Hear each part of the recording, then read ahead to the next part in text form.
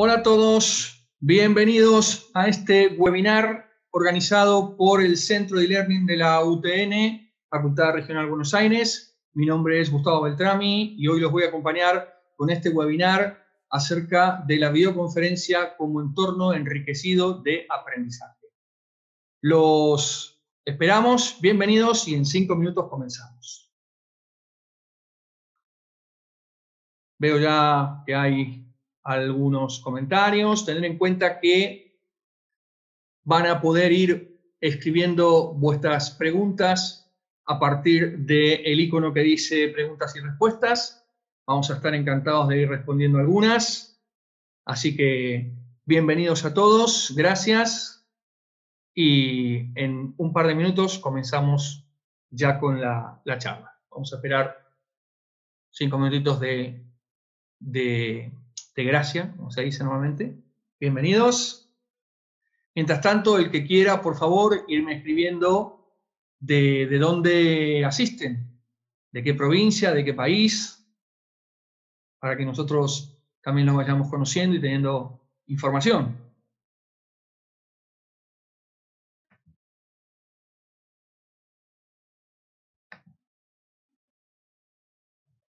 Recordar los que quieran, a partir de preguntas y respuestas. Acá tenemos a Valeria desde Cañada Rosquín, Santa Fe, bienvenida. Miriam desde Buenos Aires, desde Tigre, bienvenida. Claudia desde Chubut, bienvenido. Gente de Mendoza, gente de La Matanza, más gente de Chubut. Veo que tenemos de varias provincias, de Cava, de Tres Arroyos, Puerto Deseado Santa Cruz, bienvenido. Mendoza, también tenemos a Verónica, Río Negro, El Bolsón, Martín, desde Martín Coronado, Graciela, desde Tucumán, también Adriana nos saluda, gracias a todos. Desde Mar del Plata, Adriana, yo era de Mar del Plata, gracias por estar allí. De Quilmes, Beatriz, bienvenidos. Cava, también Oscar, Silvana desde Corrientes, Ramiro desde Chubut, Norma desde Cava, Claudia desde San Fernando, Jessica desde Malvinas Argentinas, Rosa desde Avellaneda, más gente de Mendoza, Analía también de Mar del Plata. Bueno, mucha gente. No, eh, hemos, eh, con respecto al tema del chat, no lo, no lo queremos este, habilitar, entonces vamos a concentrar todo lo que son eh, preguntas eh, a partir del iconito de preguntas y respuestas, ¿sí? Así, así nos ordenamos y podemos tener las preguntas eh, preparadas para ir respondiendo. Bueno, ya habiendo pasado algunos minutitos, vamos a ponernos en marcha y vamos a ir comenzando, vamos a esperar un minutito más y ya vamos a comenzar.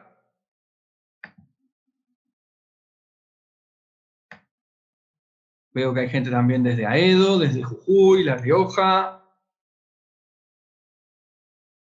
Guadalupe de Pilar, Justino, bienvenido. Bueno, tenemos de varios, de varios lados. Muy bien, así me gusta. Bueno, vamos a comenzar entonces con este webinar que hemos llamado la videoconferencia como entorno extendido del proceso de enseñanza y aprendizaje. Vamos a comenzar entonces despacito.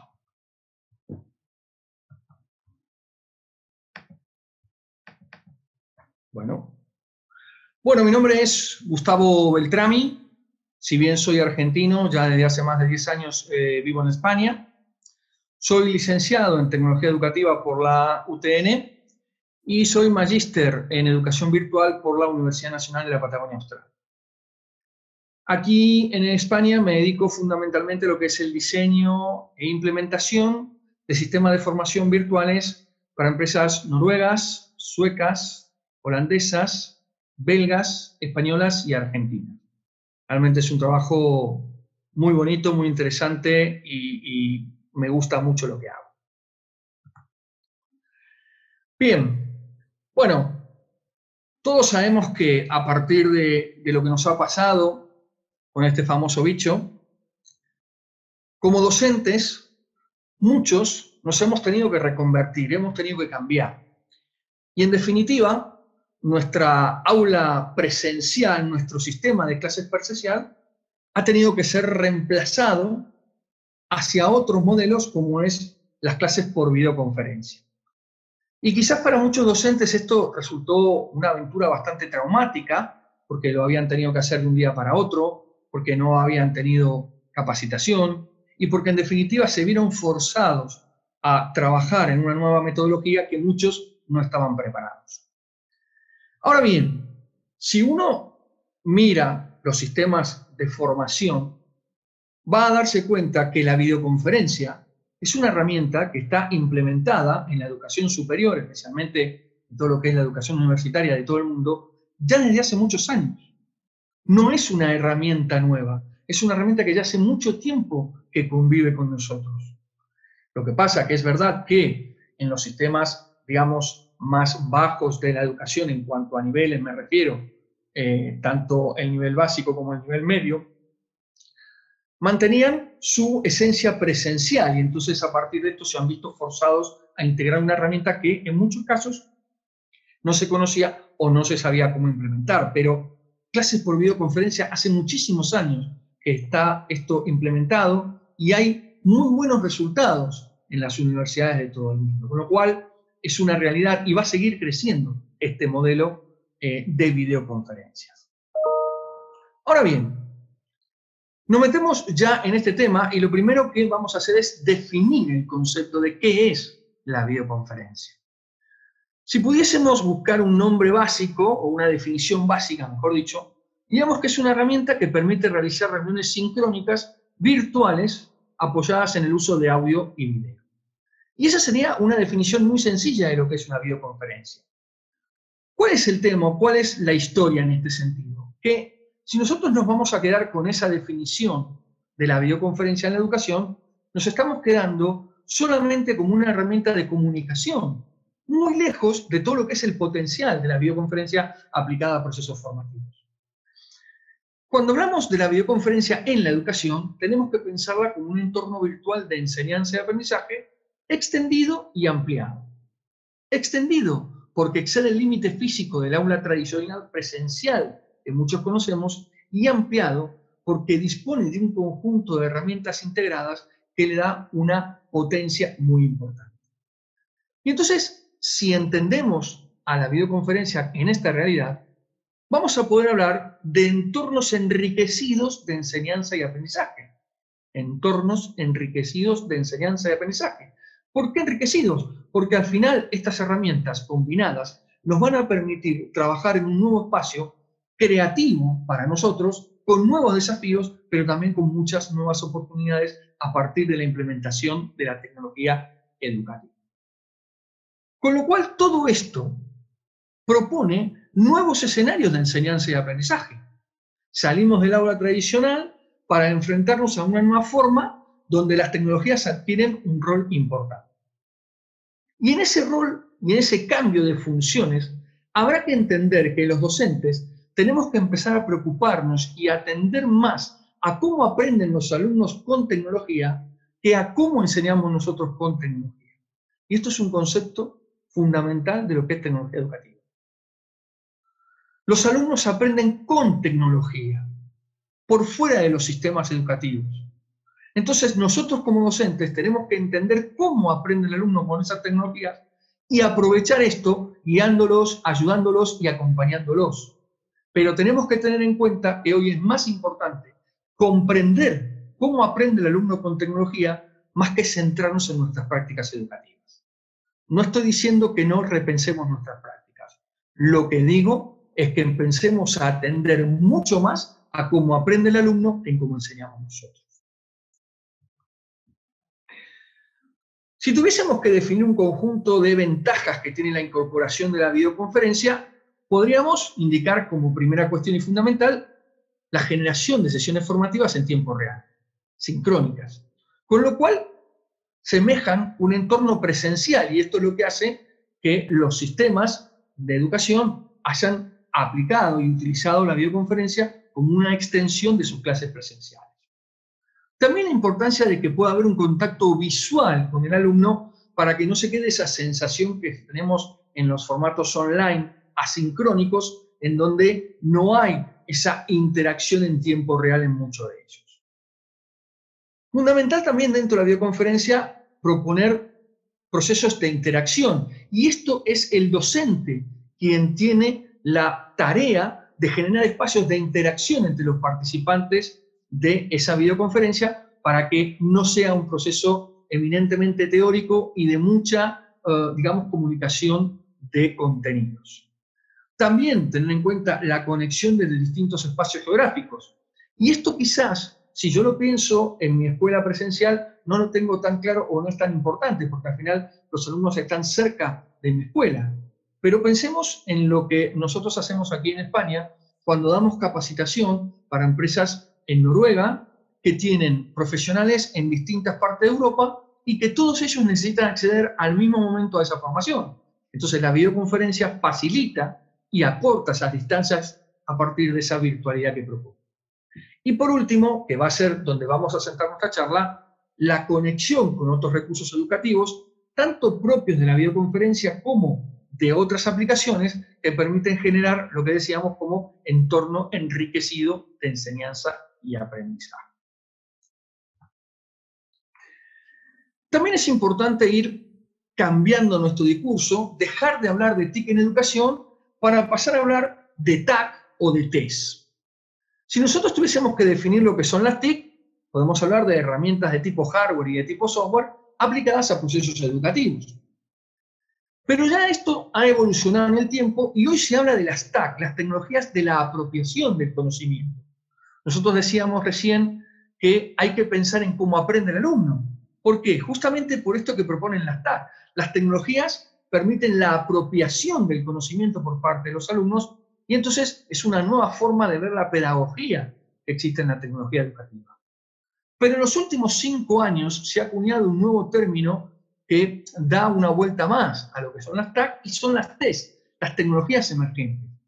Las tecnologías emergentes siguen siendo la aplicación de hardware y software en procesos educativos, pero básicamente ponen el centro del proceso a la forma en cómo aprende el alumno y proponen alternativas innovadoras y disruptivas del proceso de aprendizaje. Y esto es lo central. ¿Por qué? Porque si nosotros pensamos en la tecnología y la aplicamos dentro de nuestra aula, en muchos casos lo que estamos haciendo es replicando los modelos de educación presencial con más herramientas, pero no estamos generando un cambio de paradigma educativo. Entonces hay que entender que lo importante de todo esto es la innovación y la disrupción que podemos hacer nosotros a partir de proponer, como decíamos, nuevos escenarios educativos, nuevas didácticas y nuevas pedagogías sino lo único que estamos haciendo es agregando nuevas herramientas y repitiendo las mismas didácticas que venimos llevando adelante desde siempre. ¿Cuál es la función docente en la videoconferencia? Por supuesto, la de comunicar contenidos, pero fundamentalmente la de desarrollar habilidades y metahabilidades en los alumnos. La de fomentar los procesos de reflexión y análisis y proponer estrategias de participación e interacción para que tenga mucha equivalencia a lo que son los, los entornos presenciales de formación. ¿Cuáles serían los criterios que nosotros tenemos que tomar a la hora de elegir una herramienta de videoconferencia? Bueno, seguramente el primero, el más común, podemos decir si es una herramienta gratuita o es una herramienta de pago. Pero si estamos analizando solamente esa parte, nos estamos quedando un poco a medias. Tenemos que tener en cuenta también el soporte técnico. Me refiero a la disponibilidad, a la fiabilidad, a la calidad y al idioma en el cual se presta estos servicios técnicos. Esto es algo que no le damos importancia hasta el día que lo necesitamos. Ahí, rápidamente, entendemos la importancia de la calidad de la asistencia técnica. También la calidad de la transmisión de datos, especialmente el audio. Podemos reseñar la parte de imagen, pero no podemos reseñar la parte auditiva. Si una videoconferencia no tiene buena calidad de sonido, por más que seamos los mejores profesores, la, videoconferencia va al fracaso. Entonces es muy importante la calidad de la transmisión del audio. También la cantidad máxima de participantes en cada sesión. Hay herramientas que tienen un número limitado, hay herramientas que tienen un número mayor. Bueno, habrá que ver cuál es la que más me conviene según mi necesidad. También la cantidad y la calidad de la participación de los asistentes en un mismo momento. Muchas veces se hace la prueba cuando hablan dos personas y se deja abierto cámara y micro y funciona fantástico, ¿vale?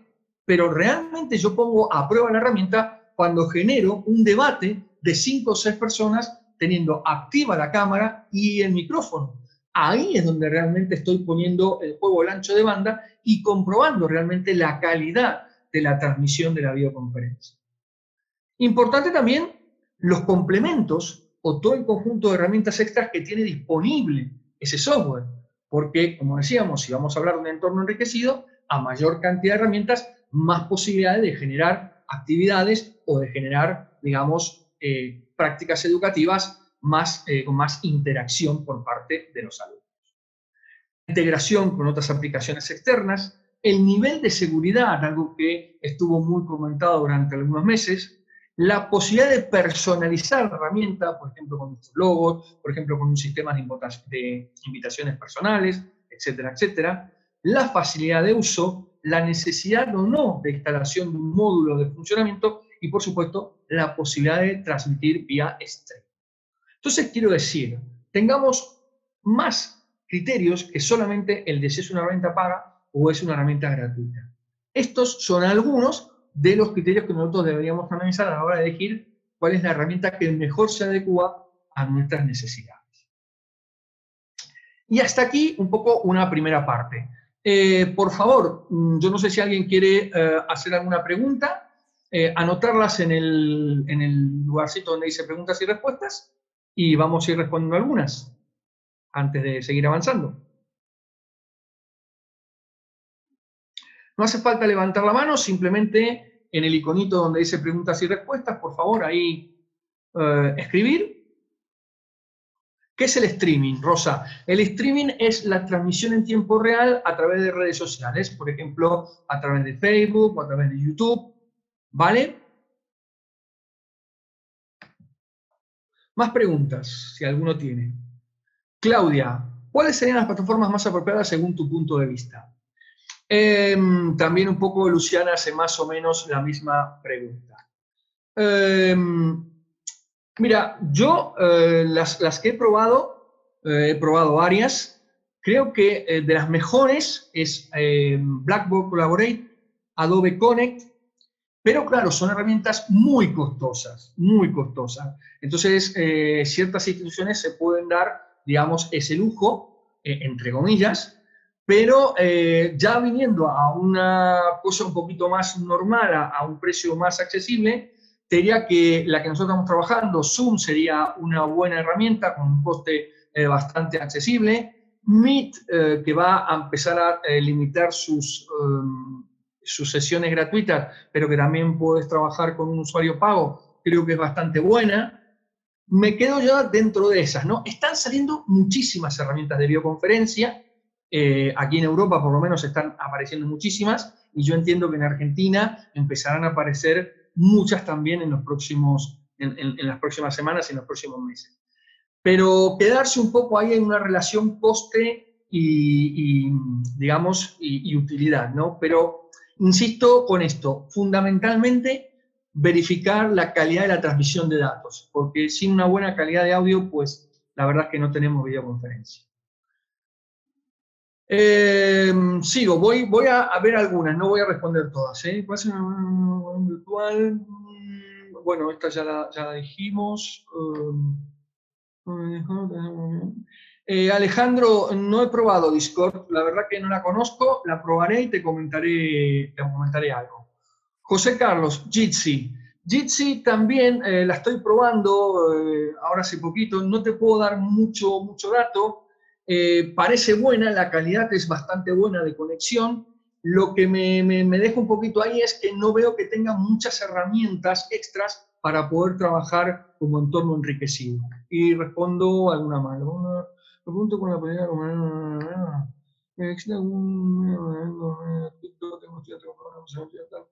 Eh, Adriana me dice si existe algún medio de almacenamiento online gratuito. Bueno, tienes Dropbox, por ejemplo. No sé si puede servirte como medio para ir eh, levantando archivos. Eh, ¿Alguna más? Eh, a ver, ¿alguna más? Patricia, esto de cómo se configura la opción de Zoom, mm, no te, no te la puedo responder ahora, ¿sí? Pero bueno, vale, y ahí me quedo, y aquí me quedo. Seguimos un poquito más y, después vamos a tener otro tiempito de, de preguntas. ¿Cuáles son las herramientas básicas disponibles que tenemos en los distintos software de videoconferencia? Bueno, tenemos encuestas o test en línea, tenemos un sistema de notas compartidas, tenemos la posibilidad de compartir ventanas de nuestro escritorio por fuera de las herramientas de, eh, de la herramienta de videoconferencia, posibilidad también de tener una propia mediateca, distintos perfiles de usuario para configurar permisos y posibilidades, el chat, la comunicación iconográfica, algo muy útil que ahora vamos a comenzar, las pizarras colaborativas que también la mayoría de las herramientas disponen, sistemas de mensajería integrados, que esto lo tienen pocas pero son muy interesantes, el streaming en sí que ya habíamos comentado, todo lo que son métricas y estadísticas de participación, de asistencia y de uso de recursos, la grabación de sesiones y la posibilidad de salas extras a la sala principal. Vamos a hablar un poquito de cada una de estas herramientas.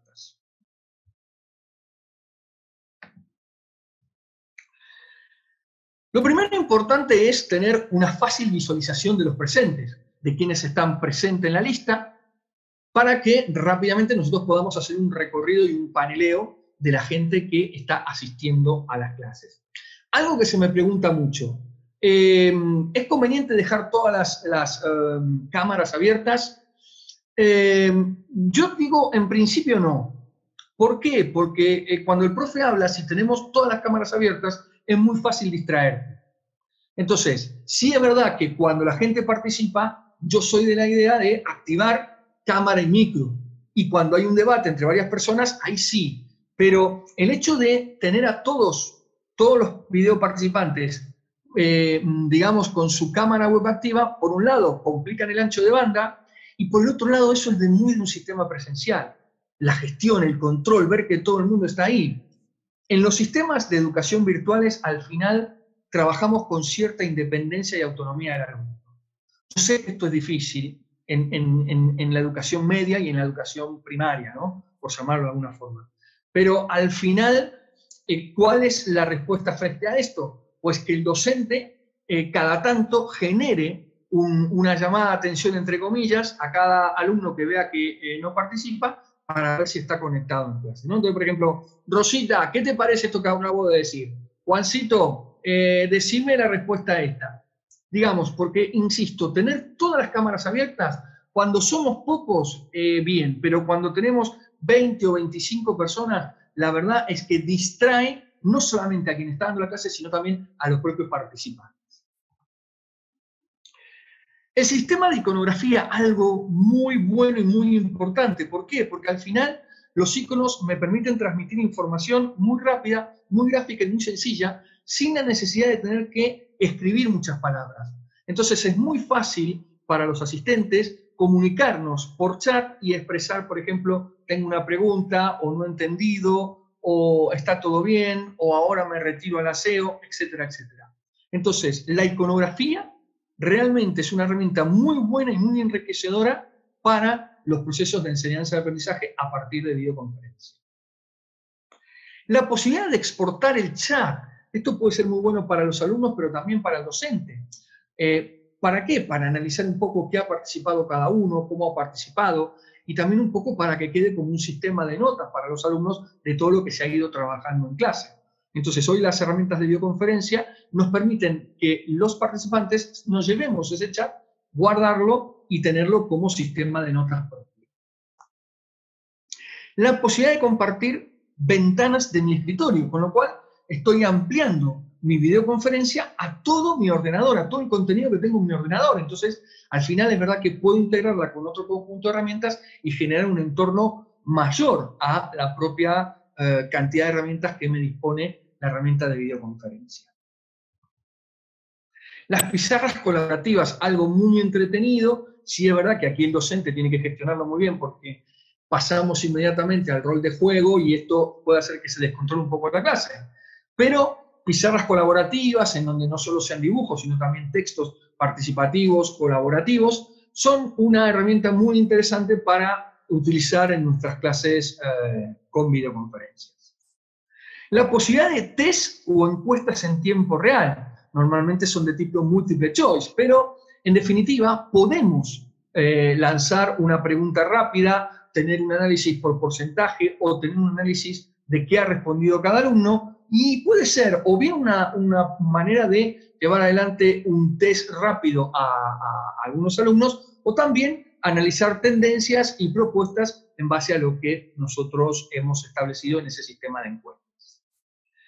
La posibilidad de una mediateca y de un reproductor de videos. Ya sabemos que hay mucho material multimedia dando vuelta, entonces es muy bueno poder utilizarlos dentro de la propia plataforma.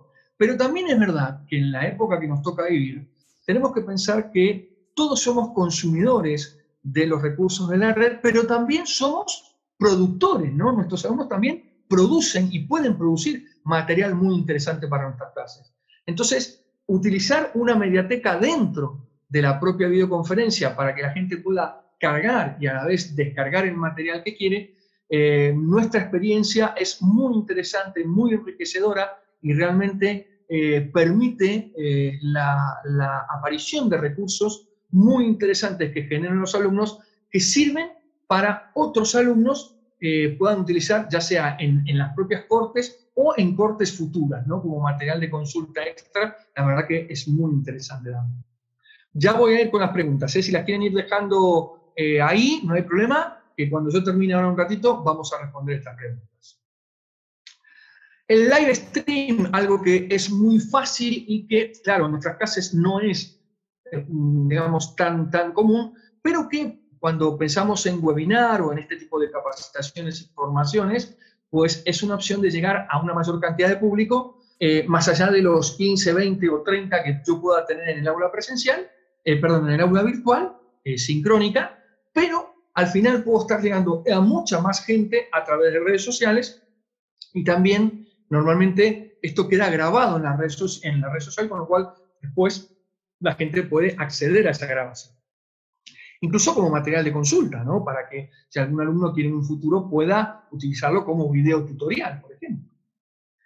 La posibilidad de grabar las clases para que aquel que no ha venido o se ha tenido que ir o se ha perdido o simplemente quiere repetir la clase porque algo no le ha quedado claro, pues lo puede usar, ¿no? Y algo que se empieza a utilizar mucho en estas grabaciones es generar pequeñas grabaciones en la clase para que sirvan como material de aprendizaje para los alumnos. Esto se carga en la mediateca y después el alumno que quiere toma ese recurso, lo ve, aprende y en definitiva o bien está reforzando o bien está aprendiendo por su cuenta a partir de esta grabación que hemos llevado adelante y que hemos puesto a disposición del alumnado. Los sistemas de notas compartidas algo muy interesante para trabajar en forma colaborativa, pero también para que vayamos construyendo un resumen, por ejemplo, de las cosas más importantes que vamos trabajando en una clase.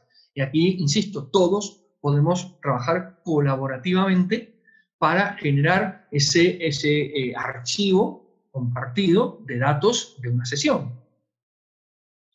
Sistemas múltiples de invitaciones, no solamente con el copiar y pegar tradicional, sino que también podemos generar una invitación propia desde la, propia plataforma que eh, tenga un encabezado y un marco muy bonito, de manera tal de que el alumno pueda recibir una invitación institucional y no solamente un copiar y pegar de un link que nosotros le enviamos los distintos sistemas de permiso que me van a permitir de alguna forma regular cuándo hablan, cuándo pueden participar, cuándo eh, le permito a un alumno que pase a expositor y yo quedo más en una parte de audiencia. Bueno, todo este sistema que me permite jugar un poco con, eh, digamos, las posibilidades que tengan los distintos participantes de la sesión.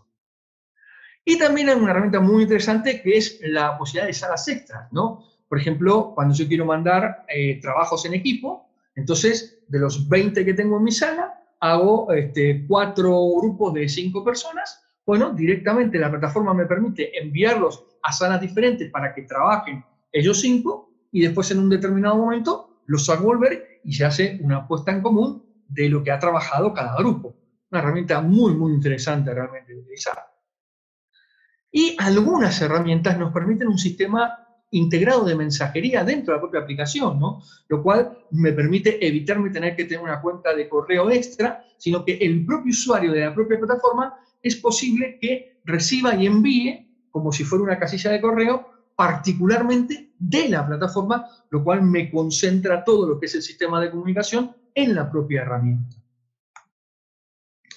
Las métricas de uso que me permiten ver tiempo de conexión, cuántas conexiones hubo, eh, incluso en algunos hasta qué medio se ha utilizado, qué recursos se ha utilizado, en qué momento y demás. Algo que, insisto, es muy interesante analizar para poder ver tiempos de conexión, por ejemplo. Y eh, también algunas me permiten un entorno flexible y personalizable a mis necesidades, por ejemplo, poner mi logo, poner alguna foto que yo quiera, es decir, no dejar el, el contexto de la herramienta en sí, sino enmascararlo en definitiva con todo lo que es el marketing institucional de cara a tener una eh, imagen eh, de escuela y no de plataforma. Con lo cual quiero decir, todas estas herramientas que hemos hablado, el chat, las encuestas, los sistemas de notas, la pizarra, los perfiles, la mediateca, la posibilidad de distintos tipos de documentos, las estadísticas, los iconos, los navegadores, la grabación de sesión y los sistemas de permiso, constituyen ese entorno enriquecido de enseñanza y aprendizaje. Y esta es una posibilidad que tiene retos, pero también tiene nuevas opciones. Estará en nosotros entender y comprender qué dispone cada herramienta, cuál se adecua mejor a mi didáctica o también a cuál puede ser la más conveniente para que mis alumnos aprendan mejor y a partir de ello enriquecer mis procesos de enseñanza a partir de estas herramientas. Como para ir cerrando un poquito, vamos a hablar de cinco tipos de sesiones posibles en las videoconferencias. Una estrategia más expositiva, ¿no? una clase más magital, más informativa, en donde hay mucha enumeración de información, un poco como estamos haciendo nosotros ahora. Una clase más demostrativa, donde ahí ya hay más parte de análisis y búsqueda de solución de problemas por parte de los alumnos con la obtención de las conclusiones referentes a ese trabajo. Una estrategia más participativa, donde el docente plantea preguntas y respuestas, hay exposiciones de los trabajos del alumno y se genera debate y discusión para buscar lo que llama la construcción social del conocimiento a partir de la interacción de todos los participantes en esta sesión. Las sesiones colaborativas, donde a partir de pequeños grupos se realizan trabajos con la idea de posteriormente hacer una apuesta en común y de alguna forma construir un documento único a partir de las distintas aportaciones que hace cada grupo. Y una que quizás no se nombra tanto, pero que para mí es fundamental, la de entrenamiento o formativa, que normalmente esto se hace antes de poner en, en marcha la clase en sí, donde la idea es que los alumnos reconozcan los distintos elementos de la videoconferencia, la prueben, la entiendan y hagamos los ajustes técnicos para que el día que comencemos a usar la plataforma, todos sepan cómo usarla, hayamos resuelto los problemas técnicos del vídeo que no funciona, del micrófono que no se conecta, de que no te escucho, de que esto lo otro, y de esa manera, cuando realmente pongamos en marcha la clase, por lo menos tengamos todo bastante trabajado y eh, eliminemos un montón de problemas que podíamos haber previsto anticipadamente. En definitiva, las tecnologías emergentes nos dan la oportunidad de dejar de replicar viejas prácticas educativas con nuevas herramientas para empezar a crear nuevos escenarios formativos basados en tecnología educativa. Si no entendemos este concepto de que tenemos que empezar a pensar cómo aprenden nuestros alumnos con tecnología, si no entendemos que hay una nueva forma pedagógica que al final lo importante no es la cantidad de herramientas que logre poner en mi clase, sino en utilizarla de cara a despertar y mejorar las habilidades de aprendizaje de mis alumnos, lo único que estaré haciendo es metiendo más tecnología a las didácticas que ya llevamos adelante desde hace mucho tiempo. Y con esto un poco queríamos dar esta visión de la videoconferencia como entorno enriquecido de enseñanza-aprendizaje. Y ahora vamos a ir respondiendo las distintas preguntas que puedan surgir. Bien, Susana me pregunta si todas estas ventajas están en las herramientas.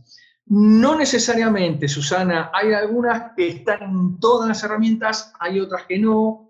Hay algunas que las tienes cuando el usuario es pago, hay otras que no. Aquí habría que ir informándose un poquito de cada una, eh, cuál es eh, la que pueda tener esas mayores cantidades de herramientas. Pero también te digo una cosa, Susana.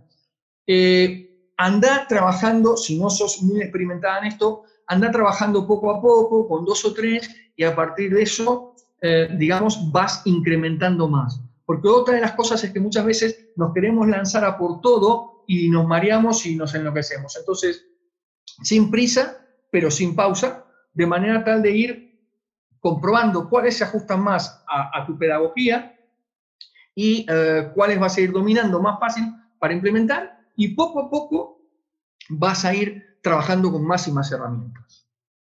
Em, Claudia, el Zoom eh, tiene esa posibilidad, pero creo que es eh, con usuario pago. ¿Zoom licencia gratuita está habilitado el uso del test? Mm, creo que no, Valeria. Creo que en usuario eh, gratuito no está habilitado el uso del test. ¿Podés volver sobre los test y cuestionarios? Mechi, escríbeme un poquito más y te respondo eso de tesis cuestionario para que me quede claro. ¿Tenés algún modelo o plan de tiempos de videoconferencia? Sí, Lilian, mira, eh, esto, que veo también hay algunos ahí que me estoy salteando, eh, dentro del Centro e-Learning eh, nosotros tenemos un curso específicamente que es sobre videoconferencia desde la pedagogía hasta su implementación, que comenzamos la semana que viene. Entonces allí en ese curso damos varias claves acerca de tiempos, acerca de modelos pedagógicos, acerca de recomendaciones, etcétera, etcétera. Entonces ahí sí es verdad que eh, hay, hay, una forma eh, para trabajar, ¿sí? Ahora nos llevaría un ratito de tiempo, pero bueno, eh, están invitados a los que deseen poder informarse, igual ahora después mi compañero Lelio va a poner la información acerca de, ese curso. Nos gusta cuestionar es real que los estudiantes pueden acceder a la secuencia de algoritmos para... Adriana, eh, Adriana Salazar. He visto que con Moodle eh, algunos estudiantes pueden acceder a la parte de código, entonces es verdad que eh, podrían llegar a acceder a la parte de preguntas y respuestas. Pero aquí también, como, como le decía recién a la compañera anterior, esto lo explico un, poquito más en el curso, porque hay que entender que una cosa son los test y otra cosa es la acreditación, ¿no? Entonces, aquí yo dejo un poquito, voy a dar una explicación, ¿no?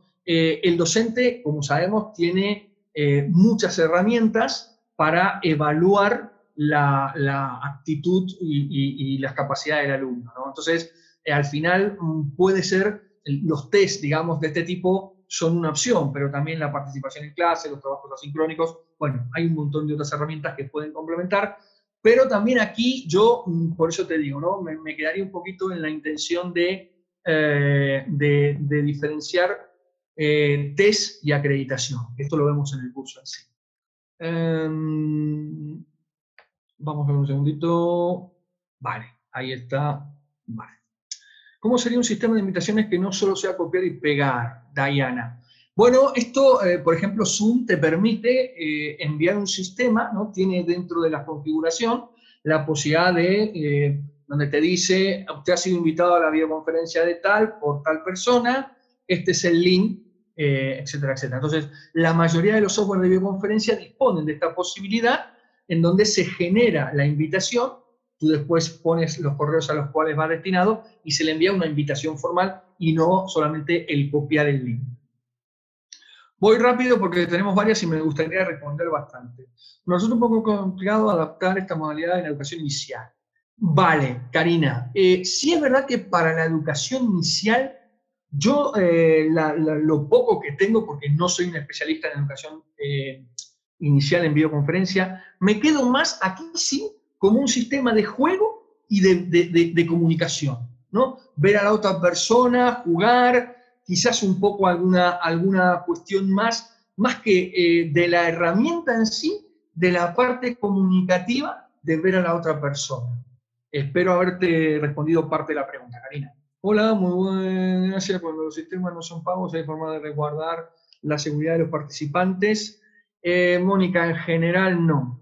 En general no. Esto que me preguntas con respecto a la seguridad de los participantes, no. Si no son sistema pago, corremos ese riesgo. Eh, los test en tiempo real es tipo Kahoot. Sí, Luján, sí. Uno lo prepara, ¿no? Son múltiple choice y te aparece el porcentaje que ha votado por cada una de esas opciones o tú también puedes ver qué alumno ha respondido cada una de las, de las respuestas posibles. Una de las preguntas que responde, podría leer, bueno, esta no tengo claro, de matemática, ¿alguna recomendación de pizarra interactiva específica para el área de matemática? Bueno, aquí quizás eh, podría jugar con alguna figura y demás, Adriana, yo tampoco te puedo dar mucha idea en esto, pero me quedaría en el tema de pizarra para el área de matemática quizás con algunas figuras, ¿no? Con alguna cuestión, eh, no sé, mm, habría, habría que pensarlo porque no es mi área específica de, preparación. Hay que hacer atención en algo al elegir una herramienta. Eh, Mónica, lo hablábamos, ¿no? No solamente el tema de pago y, y gratuito, sino, como te decía, calidad de servicio técnico, eh, calidad de las transmisiones, cantidad de personas que pueden estar participando, posibilidad de streaming, bueno, varias cositas que ya dimos en la, en la charla. La creación de subgrupos, trabajo con subgrupos y sus propias salas, ¿cuáles conoces? Bueno, eh, Laura, el Zoom trabaja con esas subsalas, em, y ahora se me han ido, el Samba Live también trabaja con, con esas subsalas, el Big Book Bluetooth, que es una también herramienta gratuita, también trabaja con salas, por nombrarte algunas. ¿eh? Eh, sigo. Eh, ¿Cómo es el nombre del curso que ofrecerán, Claudia? el nombre es la videoconferencia desde la pedagogía hasta su implementación. Son cinco semanas, son cuatro módulos de contenidos y un trabajo final. La posibilidad de realizar cuestionarios o test en línea durante una clase virtual como quiz, por ejemplo, Sí, Mechi, sí, un poquito, un poquito ahí va la cosa, sí. La problemática del norte argentino es claramente la falta de conectividad, por lo que Zoom y Meet son las mejores opciones. ¿Qué otras herramientas gratuitas recomiendas? Ariel, eh, como gratuitas y con calidad de, audio y vídeo suficiente, me quedo con Zoom y. El resto, pues, um, vas a tener, vas a tener Jitsi, que recién mencionaba un compañero, eh, pero bueno, me quedo con Zoom y Meet. ¿Recomienda esto la licenciatura en tecnología educativa para ampliar el campo de acceso laboral docente? Eh, sin duda, Noelia. Eh, indefectiblemente, eh, mira cómo es el tema, que ya, como te decía, hay maestrías en educación virtual, hay maestrías en escenarios virtuales y hay doctorados en tecnología educativa. con lo cual es muy interesante porque te va a permitir ampliar tu, tu, base de, formación con eh, el entendimiento de lo que es la tecnología educativa, no solamente lo que decíamos, TIC aplicadas en educación, sino una visión mucho más amplia y mucho más pedagógica. Con respecto a esto, eh, doy rápidamente una línea que no tiene que ver en esto, pero que, siempre la digo y que para mí es importante. Eh, hay tres formas de aplicar las tecnologías educativas. La primera es una función básica, donde va a servir de comunicación, por ejemplo, eh, enviar correos electrónicos, eh, usarla como material de apoyo, eh, como un PowerPoint o como un PDF. Esa es una forma básica de usar, la tecnología en la educación. Un punto medio es usar estas herramientas, ¿no? La videoconferencia, distintos sistemas como el Geniali, como puede ser Kahoot, bueno, todas estas herramientas que existen y que van a complementar un poco tu actividad docente. Pero realmente si queremos hablar de tecnología educativa, debemos llegar al tercer nivel, al nivel superior, que es donde aplicamos la tecnología a los procesos de aprendizajes a partir de entender cómo aprenden nuestros alumnos. Esto es un poco lo que yo te decía recién. ¿Por qué? Por lo que te decía, si no, lo único que hacemos es, antes poníamos la calculadora, la pizarra y el libro, y el vídeo, y si querés la televisión, y ahora lo único que estamos usando es agregando eh, la computadora a una clase. Pero la didáctica y la pedagogía sigue siendo la misma de siempre. Lo que pasa es que antes la clase la dábamos con video y ahora la damos con una computadora. No, señores, debemos pasar a un estadio superior. Y ese estadio superior es entender cómo nuestros alumnos aprenden con la tecnología y nosotros guiarles en el proceso de aprendizaje. Y no me quiero extender porque, insisto, esto es de otra formación que hay dando vueltas.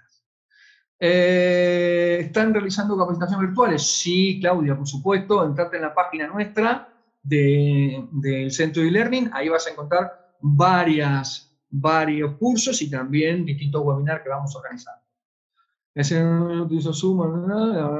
Gracias, Beatriz, por tu comentario. Echamos una respuesta.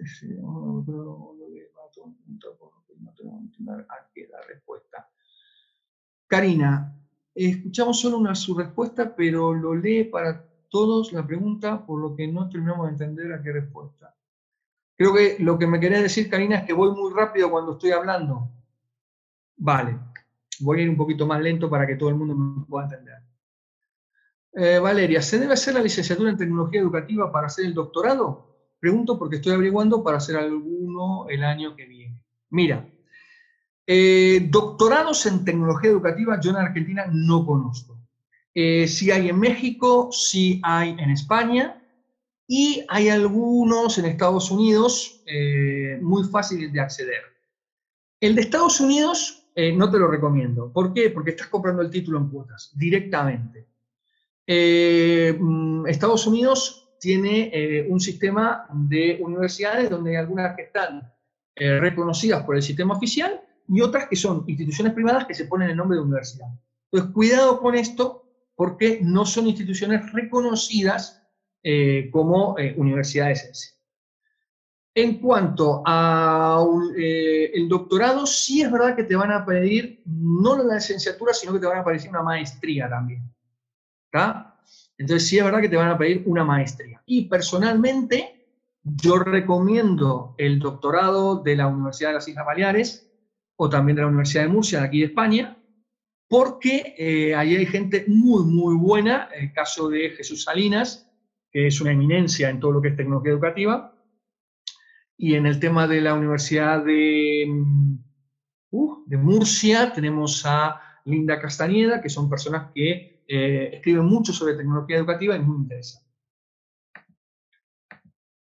Ah, sigo. ¿Qué nos podés decir acerca de cómo aprenden los chicos con la tecnología? Eh, Majo, eh, básicamente la escuela ha dejado de tener el monopolio de la educación.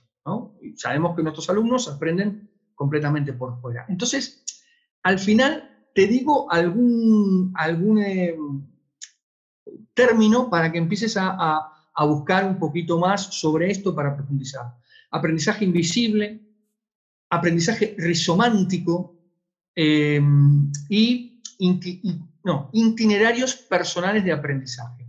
Básicamente lo que están proponiendo estas estrategias es que el docente propone la, la consulta, da una serie de pautas por donde los alumnos pueden moverse para que no necesariamente busquen, eh, digamos, eh, totalmente libre, pero eso no significa que no puedan salir de ese esquema, y a partir de eso construyan su propio camino de construcción del aprendizaje.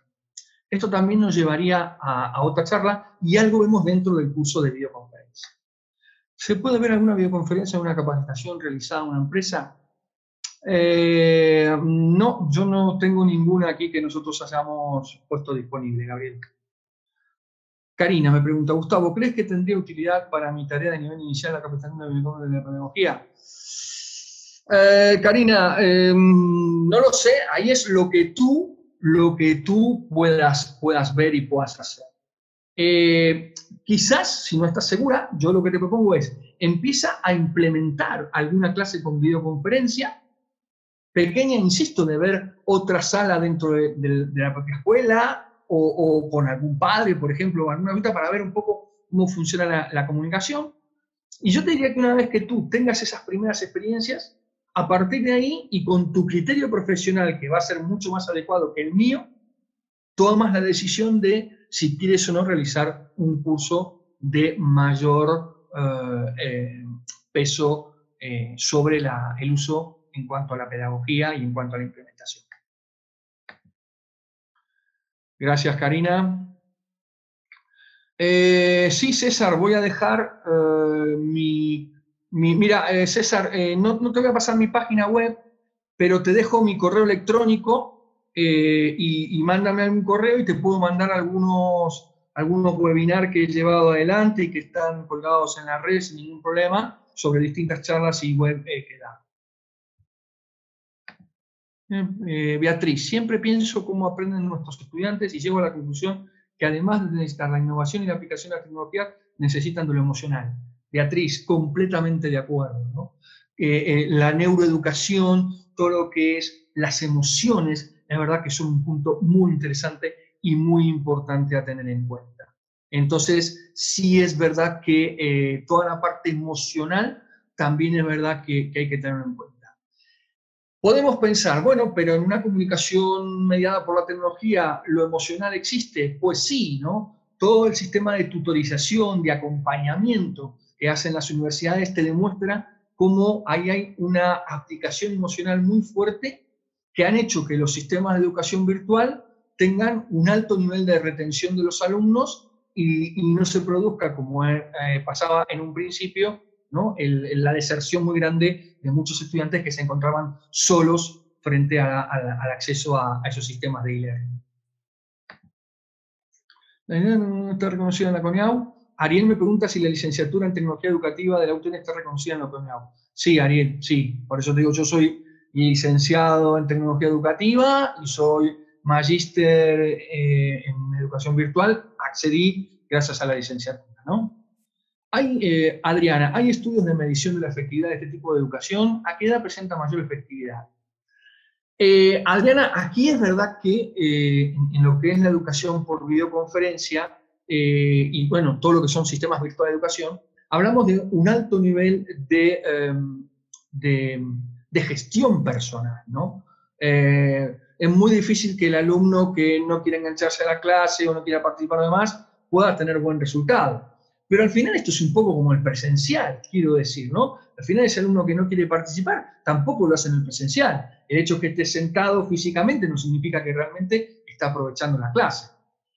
Ahora, después un poco me quedo con lo que me preguntaba alguna compañera, los niveles más bajos, ¿no? Nivel inicial, un poquito los, los niveles más bajos de educación pues ahí quizás tenemos que ver a la videoconferencia más como un sistema de comunicación y de juego que como un sistema o como un entorno de eh, enseñanza-aprendizaje. ¿no? Creo que por lo menos en un principio. ¿Es válido el título para hacer maestrías, doctorados en el exterior? Eh, Ariel, eh, esto depende de los convenios que tenga la universidad con las, la institución en donde quieras eh, estudiar en el exterior. Pero te cuento que existe una reciprocidad de títulos Argentina y España, por lo cual si tu título tiene eh, un, digamos, un título similar en España, el reconocimiento se hace eh, directamente. Tienes que hacer algunos trámites, pero se hace directamente. En cuanto a validación en el exterior, mira, yo tengo la intención de, comenzar el doctorado, eh, y bueno, me piden una serie de documentos, pero como desde la Universidad Nacional de la Patagonia Austral eh, hay un convenio con la Universidad de las Islas Baleares, la, em, digamos, eh, la aceptación es bastante rápida y, normalmente no. Majo, ¿consideras que un docente tiene que hacer una maestría para adquirir los conocimientos necesarios para innovar en su clase o, basta buenos cursos? Majo, la, la habilidad docente eh, no necesariamente viene por, un curso, por una maestría. Es, es, innato, ¿no? Sabemos que la docencia es una de las profesiones eh, vocacionales más importantes. Entonces, sí es verdad, te lo digo yo porque yo primero fui analista de sistemas, empecé a dar clase como analista de sistemas y después hice toda la parte pedagógica. Entonces es verdad que a mí toda la parte pedagógica me abrió mucho la cabeza, me hizo entender mucho la educación y me dio soporte pedagógico para comprender muchas de las cosas que yo llevaba adelante y algunas corregirlas porque las estaba haciendo mal. Entonces te quiero decir, los cursos o la maestría sí es verdad que te pueden ayudar a desarrollarte, pero la actitud la llevas adentro. Gabriela, por favor, repetí los tres conceptos claves para intentar empezar a ver sobre cómo aprenden nuestros alumnos. Eh, los tres conceptos claves, eh, Gabriela, eh, te, quedas a los tres niveles de implementación de la tecnología. respóndemelo para que yo la vuelva a, explicar. Tengo problema con la cantidad de estudiantes conectados. Ya, Adriana, es, esa es una de las cuestiones que tienes que tener en cuenta en cuanto a la herramienta, ¿no? Si te permite o no soportar tantos alumnos. Y aquí entonces tendrás que jugar un poquito, verificar si la herramienta cumple con, las necesidades que tú tienes. Sigo. Eh, Orangel, ¿ya se ha elaborado alguna estadística comparativa para medir el nivel de aprendizaje con la implementación de las TES? Em, esto siempre, siempre da mucho juego, ¿no? Las métricas, de hasta dónde, porque te recomiendo que leas eh, algo de Cabero, de Julio Cabero, que habla de, es un documento bastante nuevo, em, ¿Qué, hemos aprendido de la tecnología educativa? No recuerdo el nombre exacto, pero lo que plantea Cabero es que eh, es muy difícil medir resultados con tecnología educativa.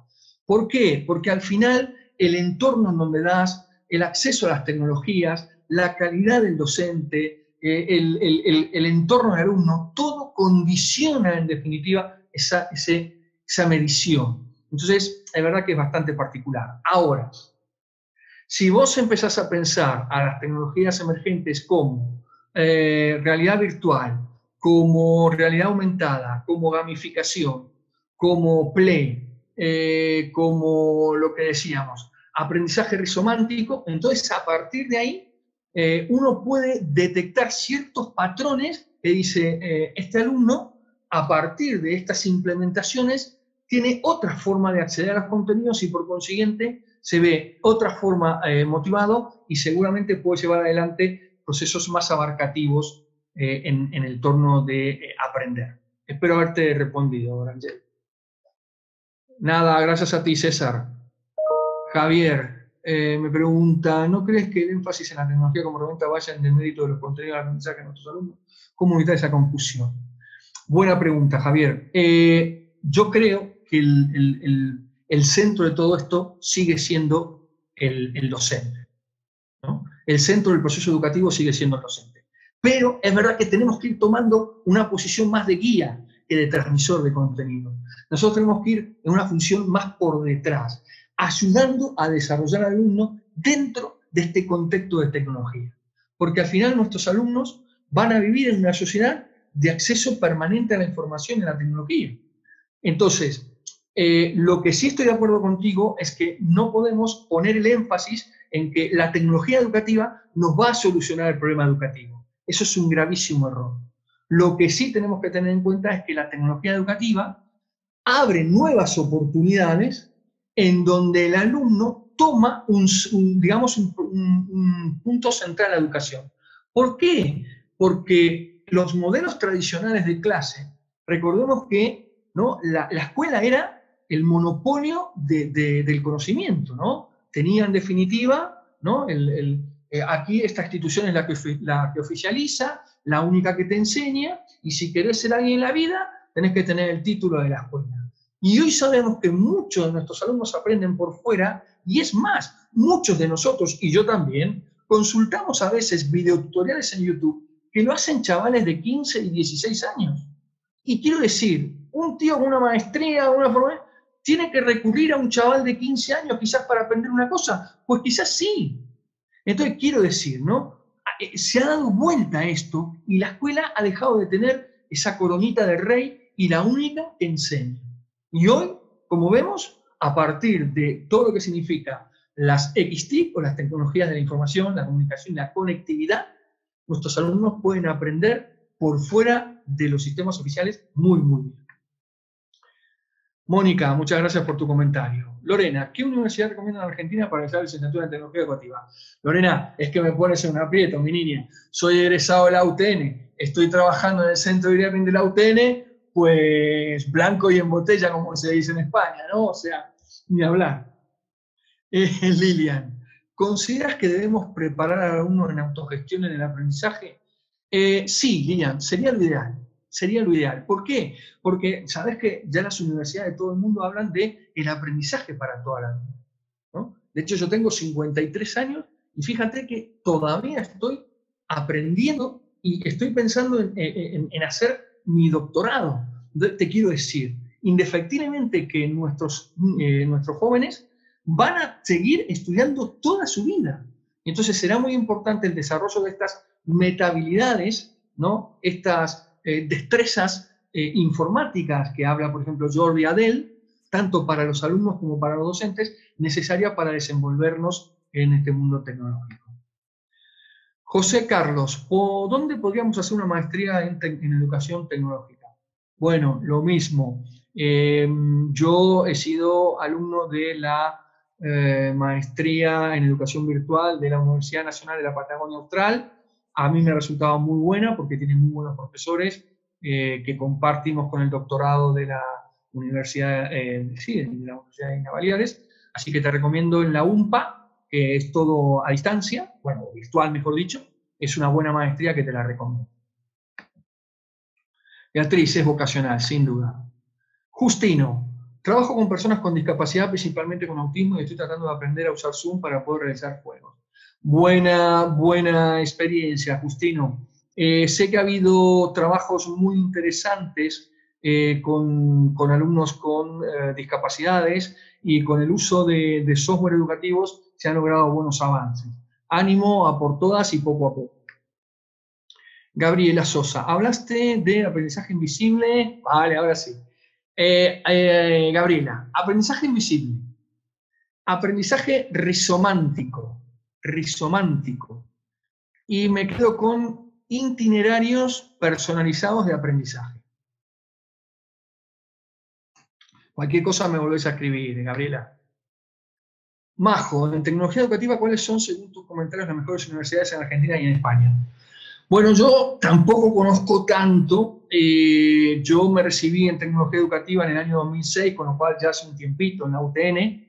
Eh, pero bueno, mm, mi experiencia en la UTN fue buena, eh, entonces te quiero decir. Mm, y sí es verdad que hay algunas universidades españolas muy buenas, pero claro, también tenés que pensar el coste que te va a, a salir eh, una universidad en España. Eh, yo no tengo costes así, pero tenés que pensar que anualmente tendrás que pagar una cuota de unos mil euros, más o menos, en una eh, universidad española. Y por el otro lado, habrá que ver si te, te permite como estudiante extranjero, y por el otro lado, no todas te permiten examinarte en formato virtual. Gracias, Susana. Gracias, Orangel. Gracias, María Claudia. Gracias a ti. Gracias, Lorena. Valeria, ¿sabes qué diferencias hay entre una licenciatura en tecnología y una en herramientas digitales para la educación? La verdad no lo conozco, Valeria, pero aquí te vas a encontrar que eh, son distintos enfoques de lo mismo, ¿no? Por ejemplo, eh, la maestría que yo hice se llama Maestría en Escenarios, eh, sí, en Educación Virtual. Y el año pasado se aprobó una nueva maestría, que es para estas universidades también, ¿eh? maestría en escenarios virtuales. Eh, por ejemplo, cambia que se agrega a esta nueva maestría una cátedra de gamificación y una cátedra de realidad virtual, pero fundamentalmente, y esto es muy bueno para alumnos, quitan el hecho de tener que hacer una tesis como tesis y solamente se pide un trabajo integrador final. Esto es un cambio maravilloso para el alumno, porque hacer una tesis de maestría son entre 250 y 350 páginas. Entonces, eh, es todo un proceso, ¿eh? digo, es todo un proceso. Beatriz, el aislamiento social puede pensarse como una oportunidad, porque nos invitó a repensar nuestras prácticas vehicularizadas por tecnologías. Sin duda, Beatriz, gracias por tu aporte. Eh, gracias, Patricia, me alegra mucho que haya te servido la charla. La licenciatura en herramientas en eh, eh, la Universidad de Lanús. Vale, Valeria, gracias. Una buena experiencia, me encantó, gracias, gracias a ti, Adriana. Estoy en duda entre cuál elegir, Valeria. No sé qué decirte. Eh, aquí tendrías que averiguar con gente que haya cursado eh, en, las universidades y ahí poder tomar la determinación. Justino. Eh, ah, Justino, Guadalupe. Guadalupe, te mando un abrazo muy fuerte y, gracias por estar ahí. Espero que te haya gustado y que hayas aprendido. Diana, muchas gracias a ti. gracias, Diana. Muchas gracias también, Majo. Gracias, Silvana. Eh, gracias, Gabriela. Haciendo una maestría en enseñanza virtual de aprendizaje como el trabajo integrador. Eh, Luciana, eh, la maestría en enseñanza en entornos virtuales de aprendizaje, ¿cómo sería el trabajo integrador? yo soy tutor de, de, la maestría, pero no tengo exactamente mucha idea exactamente de lo que se le pide. La diferencia entre una tesis y un trabajo final, básicamente, es que el trabajo final parte de una experiencia concreta. En cambio, la tesis se te pide una hipótesis, se te pide método científico, se te pide marco teórico, se te pide desarrollo de una propuesta, se te pide eh, triangulación de datos, etcétera, etcétera. Entonces, es verdad que una tesis es algo más complicado. Un trabajo final normalmente es una, cuestión práctica pura y dura en donde desarrollas todos los pasos y todas las cuestiones relacionadas a ese trabajo final. Eh, Luciana, espero haberme explicado, si no, me vuelves a escribir. Uf, Talobeto, ¿qué opinas sobre la situación educativa actual? Eh, hace 12 años que salí del sistema oficial de educación, eh, con lo cual la verdad es que me encontraría en otro mundo eh, es, muy difícil poderte eh, decir cómo está la situación hoy. La verdad es que eh, pienso, si yo tuviese que volver, la verdad es que me, asustaría un poquito. Valeria, la diferencia entre una tesis y una tesina. No, no es lo mismo, Valeria. En una tesina se te pide menos información, que es normalmente lo que se hace en la licenciatura. no es tan importante el método científico, eh, digamos que es un poquito más flexible. ¿no? La tesis ya te piden eh, un, marco teórico mucho más sólido, un desarrollo de la propuesta mucho más justificado y demás. En cambio, en la tesina es verdad que eh, es un poquito más sencillo el trabajo. David, estoy finalizando mi tecnicatura en informática en gestión y me interesa seguir con la licenciatura en tecnología educativa. Puede ser que se esté dictando en la UTN, voy por eso tranquilo, pero final. Sí, David, en, la UTN se dicta la, la licenciatura en tecnología educativa, ¿sí? Beatriz, Gustavo, no vuelvas. Haces muy bien en trabajar, hacía que. Nada, Beatriz, nada. Eh, pero fíjate una cosa, Beatriz, sigo siendo entusiasta y sigo compartiendo, o, me gusta mucho compartir eh, el, conocimiento que yo tengo que adquiero aquí con, todos eh, los, educadores y los formadores de mi país, porque al final sigo, sigo teniendo un poquito de allá, ¿no? Gracias. Jessica, bueno, Jessica, nada. Eh, eh, llámame y, yo los pongo en vereda, Jessica, como hacía contigo. Un, placer poder saber que estás ahí como siempre, te agradezco muchísimo y, nada, gracias, gracias, Jessica. Lilian, en relación a la capacitación laboral y al uso de los entornos virtuales, ¿qué podés decir de las barreras culturales y cómo las gestionas para elevarlas dentro de tu experiencia. Eh, vale, es, es, una buena pregunta, ¿no? Aquí, un poco claro, vos imagínate que yo trabajo con empresas eh, noruegas, empresas suecas, empresas holandesas, empresas belgas, en donde si bien tienen ciertas cuestiones parecidas, es verdad que hay, hay rasgos distintivos entre los noruegos, entre los suecos, entre los holandeses y entre los belgas. Aquí lo que tenés que hacer es conocer un poco su idiosincrasia, y a partir de ahí manejarte con, esas cuestiones, ¿no? Pero eh, eh, también es un poco que a veces, porque pasa, ¿no? Eh, quizás vienen de sistemas diferentes a los nuestros, vos vas con una idea pedagógico-didáctica y, ellos no lo ven claro, ¿no? yo recuerdo la primera vez cuando hace 11 años propuse llevar adelante un sistema de educación para 48 personas para una empresa noruega, claro, los noruegos no lo podían creer, no lo podían entender, y un poco lo lanzaron, pero con muchísima duda. Cuando me vieron funcionar, cuando vieron que todo, pues todo estaba en marcha y que esa planificación teórica que teníamos realmente era llevada a la práctica, ellos se abrieron, entendieron y, y bueno, aceptaron mucho más estas posibilidades. Con lo cual, te quiero decir, aquí es un poco adecuarse.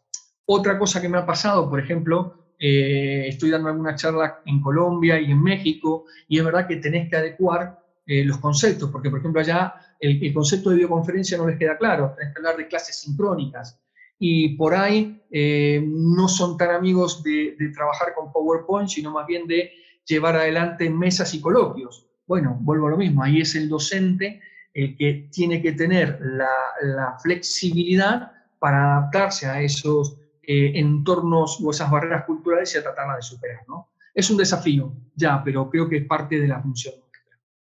Juan, ¿cómo captar la atención del alumno en materias como programación o base de datos en secundaria? Hostia, mío, mío, ya. Eh, yo no sé qué se está dando ahora, Juan. Eh, yo empecé como analista de sistemas eh, aquí en España está resultando muchísimo y muy bien para los, chicos jóvenes trabajar, por ejemplo, con Scratch, por ejemplo, con, todo ese tipo de, software de juegos, en definitiva, que te permiten desarrollar algunas habilidades de programación.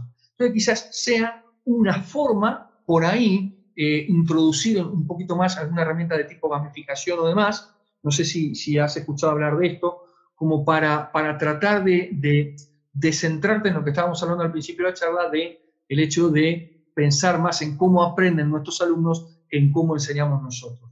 Quizás si le das un poco vuelta y empezás a buscar respuestas por ahí, quizás pueda aparecer alguna, alguna solución o alguna idea que, que, se te abra la mente. Pero a seguir trabajando, que, que es lo importante. Bueno, he respondido a todos. No sé si, gracias a ti, Juan, eh, ¿Queda eh, alguna preguntita o algo para, para poder responder? Si no, ya vamos a ir cerrando la sesión. Eh, recordar que desde la UTEN estamos a vuestra disposición, los que quieran, bienvenidos al curso de videoconferencia, vamos a estar encantados de poderlo recibir. Y nada, estar atento a, a los distintos webinars que vamos a estar dando quien quiera comunicarse conmigo, eh, voy a escribir mi correo electrónico sin ningún problema. hotmail.com eh, anotarme, escribirme para, para, charlar o para lo que sea. Horario del inicio del curso. Gabriela, como es en formato online, eh, ya sea a través de Moodle, no hay tanto problema. Después ponemos los días y los horarios de las videoconferencias en donde repasamos un poco los contenidos, pero es un poco lo hacemos en base al grupo y, ver cuáles son los mejores horarios. Gracias, Gabriela. Eh, gracias, Lilian. Javier. Hola, Gustavo. En la licenciatura en Tecnología Educativa se ven los contenidos necesarios para aplicarlos como formador en una empresa. Eh, se ven estrategias. No pienses en contenidos, pensá en estrategias didácticas. ¿no? Te van a dar base de, cómo utilizar la tecnología en procesos educativos. Eh, no pienses tanto en contenido, sino más bien en, herramientas, en andamiajes que te permitan llevar adelante después capacitaciones. No sé si me he explicado, Javier. Gracias, Gabriel, por tu aporte. Gracias. Eh, Karina, sí, queda la clase grabada, creo que en el Facebook. Lelio, no sé si podés pasar el link de dónde está grabada la clase. A ti, Gabriela. Bueno, no sé si va quedando alguna preguntita más y si no ya vamos a ir eh, cerrando.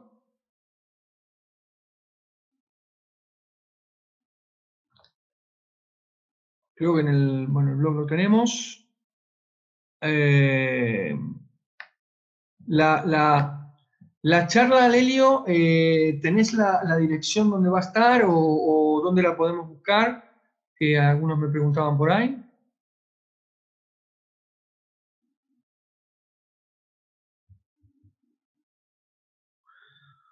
Eh, ya estoy contigo, Néstor, un segundito.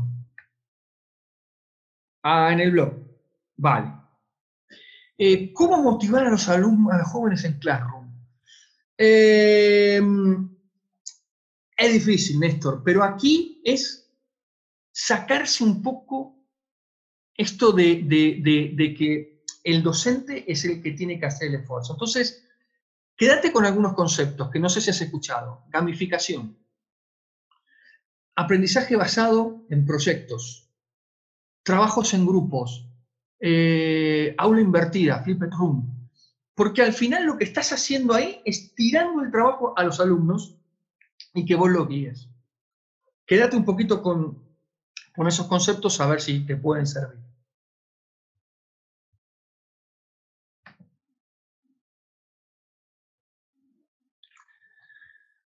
Bueno, si no hay más preguntas, eh, por mi parte agradecer eh, vuestra participación. Espero que les haya gustado y les haya servido. Eh, escribirme en mi correo electrónico, contestaré todo lo que pueda.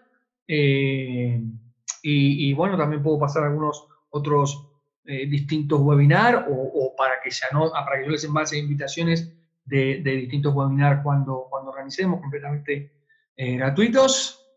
Gracias, Gabriela. Gracias, Claudia, también. Eh, y bueno, desde mm, el Centro de Learning de la UTN, eh, agradecerles, los esperamos que, que se enganchen con nosotros con todas las propuestas que tenemos de capacitación. Y nada, un saludo desde España y gracias por todo y nos vemos pronto. Gracias, gracias a todos. Un saludo.